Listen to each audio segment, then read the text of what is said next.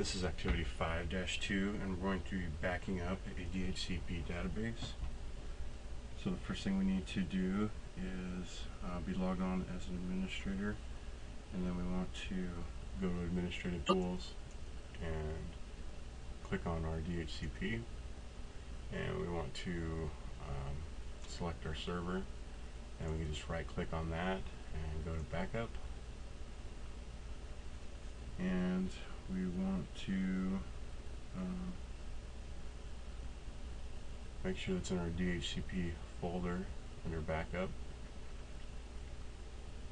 And we can click OK.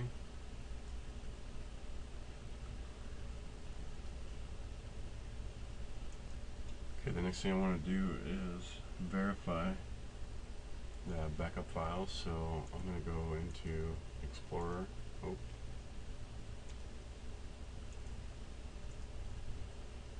and I'm going to find the Windows file or folder here.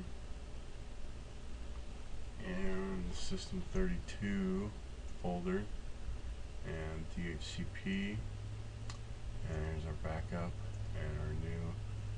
So we can um, see that we have created a backup of the DHCP database.